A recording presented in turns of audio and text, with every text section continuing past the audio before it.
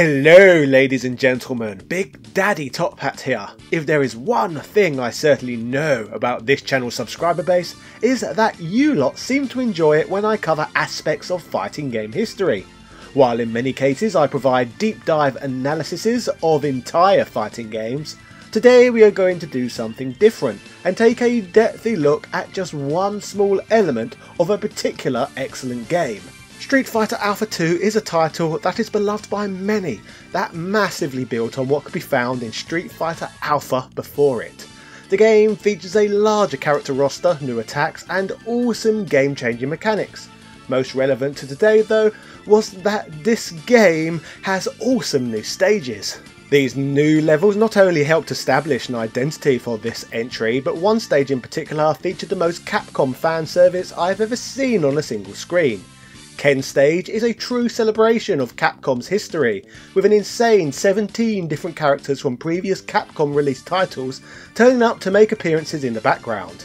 So in this content we're going to briefly cover who each of these 17 cameos are, so you can further appreciate how truly magical this stage is. This is a look at Ken Stage from Street Fighter Alpha 2, Capcom's ultimate fan pleaser moment. Yeah. In 1995, Street Fighter Alpha would mark the first game in history that would cross characters over from different but closely related Capcom franchises, with Final Fight characters being trickled out and added to the Street Fighter roster as the Alpha series progressed. While we would have to wait for a true Capcom crossover fighter, with the debut of the Capcom Versus series at a later date, we did have a mass crossover as early as February 1996, within Ken's stage in Alpha 2 which as discussed is chock full of Capcom favourites. So let's begin discussing each of these onlookers. Starting from the far left of the stage, we have none other than Lord Raptor, a charismatic young Australian rock star who killed himself and 100 of his fans via ritualistic sacrifice. The fighter, who originally debuted in the first Darkstalkers game, is a musician who was revived by Emperor Ozom, who took note of his actions, turning him into a supernatural being although it is later revealed that all of this was part of Lord Raptor's plan to destroy Ozom and take his spot as Emperor. The next two cameos also originate from the Darkstalkers games, Hsien-Ko along with her sister Mei-Ling. The Chinese siblings who first appeared in Night Warriors Darkstalkers Revenge were raised to be Senjutsushis, as they were taught of its arts by their beloved master. Sadly, on one ceremonial night, their village was attacked and their master was killed. After this sad murder took place, their mother gave her life to protect them, leading to their mother's soul being trapped in darkness. To release her mother, Hsien-Ko uses a special technique that results in her being transformed into a Chinese hopping vampire, leading to Mei-Ling, her sister, becoming a wall to ensure Hsien-Ko doesn't lose control of her darker half that has been building inside her, the two set off for revenge, but that does not mean that they do not find time to watch Ken have a punch up. The two characters featured here are the two unknown soldiers from the video game Forgotten Worlds, a shoot 'em up published by Capcom back in 1988. The coin-op game is set in the 29th century, after an evil god has already destroyed Earth. Two nameless super soldiers were created to defeat the god known as Bios and the eight evil demigods who serve him. The two soldiers from this cooperative affair somehow managed to time travel back to planet Earth's past to witness some Street Fighter action today. Back to the world of Darkstalkers, we have the most iconic Darkstalker of them all, that damn succubus from Scotland known as Morrigan, the anti-hero and main protagonist of the Darkstalkers franchise. The Ryu of Darkstalkers is well known for being beautiful, sexy, confident, conceited and playful. However, Morrigan is also said to be equally as friendly and approachable as she is other things, which makes it not that surprising really that she would attend a gathering like that of which is featured here. Morrigan will do whatever it takes to satisfy her hunger. Also watching the skirmish we have two professional wrestlers from Capcom Slam Master games. The first of these is Biff Slamkovich, a Russian fighter who trained under the tutelage of Mike Haggar of Final Fight fame. Biff is a wrestler who hates showmanship and thinks that other wrestlers should focus on the grappling itself. Joining him, we have the founder and owner of the Capcom Wrestling Association, undisputed champion Victor Ortega, a man who mysteriously disappeared from the ring when there was no one left strong enough to give him a decent challenge. The character resurfaces at the end of Saturday Night Slam Masters, then finally becomes an opponent at the end of Ring of Destruction Slam Masters 2. Also watching the action we have Eliza, the wife slash girlfriend of Ken, depending on the part of the timeline we are at. She marries Ken following the events of Street Fighter 2, but the story in the Alpha series on the other hand is set before then. At the end of the first Street Fighter Alpha game, Ken meets Eliza for the first time.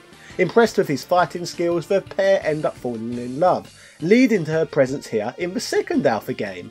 The next two characters present are also from the same game, both of which surface as playable fighters for the first time within Captain Commando, a game set in the distant future of Metro City, many years after Mike Haggar's reign as mayor.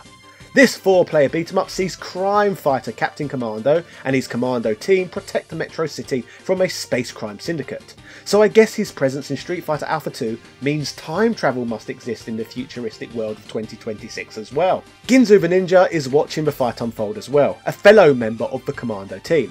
The gentleman is literally just a Shoryuken throwing ninja assassin, so not much else to add here other than he is a fighter from a different time period as well. Moving along we have Michelle Hart from the 1986 Capcom fantasy themed shoot 'em up game known as Legendary Wings.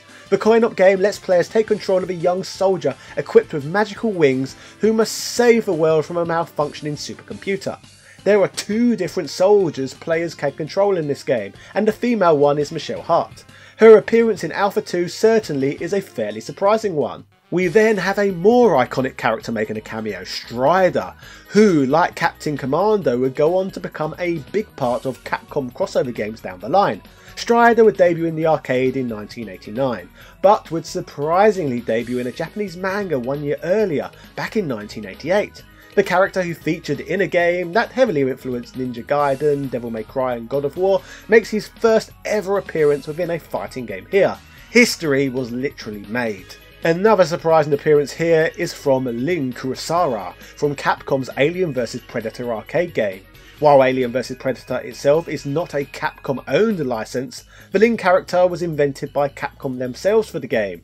This Japanese martial artist gets involved in combating a xenomorph infestation in San Gerard, California, as the events of Capcom's Alien vs Predator unfold. She appears on this stage and is said to have later inspired the creation of Ibuki for Street Fighter 3, so her influence did not quite end here either. Back to the world of Darkstalkers, we then have Felicia. This strange Catwoman wishes there to be a way for peaceful coexistence between Darkstalkers and humans alike.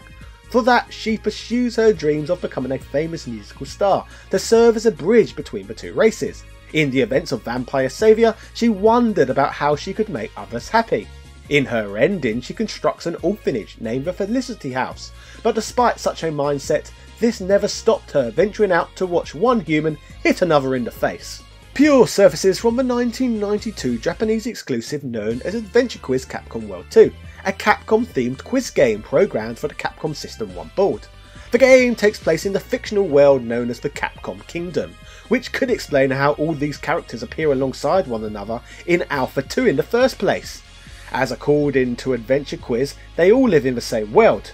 Pure is one of the playable characters in the game, a young mage whose parents are people from the skies. She will eventually work as a goddess to spread love and courage throughout humanity. Finally, the most intriguing of all of these background characters is the servant standing on the far right, who is said to be a gentleman known as Kenzo Tsujimoto, a character who has never appeared in any Capcom games prior or after. Technically, I guess this character is all of the other characters' gods, as Sugimoto was the Japanese businessman who founded Capcom to begin with. Amusingly, while this was his first appearance in an actual Capcom game, this did not stop him from making a cameo in the Street Fighter live action movie prior. So there you have it ladies and gentlemen, a huge insane amount of Capcom fan service and company history squeezed into just one simple stage backdrop within Street Fighter Alpha 2. Future games such as the Capcom Versus series would later illustrate how keen in the 90s Capcom were to celebrate their characters' pasts. But prior to all of this, as shown today, a huge lineup of Capcom characters appeared alongside one another within this Capcom fighter as well. Do you know any moments within fighting games that are a nod to the past as strong as this one? let me know in the comment section down below, as gaming history has many great moments that deserve further spotlighting. If you enjoyed today's content, why not subscribe to this channel and check out my fighting game backlog. I have taken a deep dive look at countless fighting games in the past, and all these videos can be accessed by simply clicking the playlist on the pinned comment attached to this very video. These videos are produced with help from those who back my channel on Patreon, allowing myself to work on YouTube full time. With that said, massive thank yous go out to Sebastian Velez, Carl Johnson, A Murder of Crows, Heo Paulo Lopez, Joseph Rasmick, Ben Harradine, Corey Imar Sr., Capcom vs SNK, BXL Gotham, Rowan Dinch, Evan Border, Philip Manth, Cambo Rambo 82, Azra Rorikai, Keith Ferguson, Joaquin Varela, Prince Knight, Michael Cullix, Ego, Jordan Durant, Angel Light 85, Alethea Swanson, Nick Daniels, Princess Zana, Glenny Glenn, Daniel Daly, Computer Man, House of the Ted, Gary Pinkett, ECU Professor, Kid Anime, Justin Wang, Aaron McNamara, Hermes Gonzalez, Instant Gratification Monkey, Man Shovel, James Bishop, JB, Michael Hall, Wesley Sanghi, Ben Dover, Langston Miller, New, Brian Barry, Sarah Powell, Vlaming Renee, Marvin Aaron Chris Cool, TOG Driver, Adrian Hannington, Bernard NG, Richard Stu Stewart, James McDonald, Dan Van Dammit, Lewis Viant, John Bates, David Bauer, Chris Fisk, Mike Bruno, Rick67, Antonio Rodriguez, Craig Jenkins, Retroverse.com, Casey Wright, Sin Spaces, Zai, Andrew Bazanski, Gunther Hendricks, and everybody else who continues to back the channel. You really help me do what I do. Thank you.